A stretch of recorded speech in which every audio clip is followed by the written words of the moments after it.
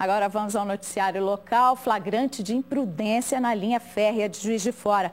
Um carro quase foi esmagado pelo trem na noite da última terça-feira. As câmeras da empresa responsável pela linha registraram tudo. Veja aí, as cancelas indicam a proibição da travessia. Mesmo assim, passa uma moto, em seguida um carro e por pouco o trem não atinge o veículo. O maquinista foi obrigado a acionar o freio de emergência. O trânsito chegou a ficar parado por uma hora e meia na passagem de nível.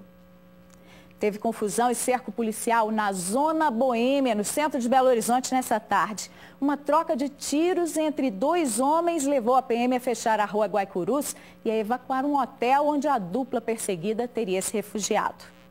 Militares do GAT, outros policiais militares estão lá dentro, ainda não se sabe o que, aconteceu aqui no local. Parte da rua foi isolada, a polícia cercou aqui a entrada deste hotel famoso aqui na chamada Zona Boêmia de Belo Horizonte. Frequentadores, funcionários do hotel estão sendo retirados do local para o trabalho da polícia. Depois que a identidade, que, que puxou a todo mundo, que eles liberou todo mundo. Ah, embaçado, viu, Zé?